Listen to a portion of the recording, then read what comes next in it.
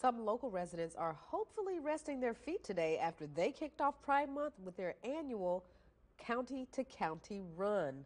Tim Key organized the fourth annual County to County Pride Run with about 35 participants.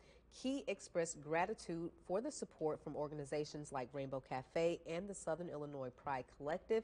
The run aims to promote love and acceptance across Southern Illinois. The runners made their way from Heartland Regional Medical Hospital in Marion to Sweets Drive in Carbondale.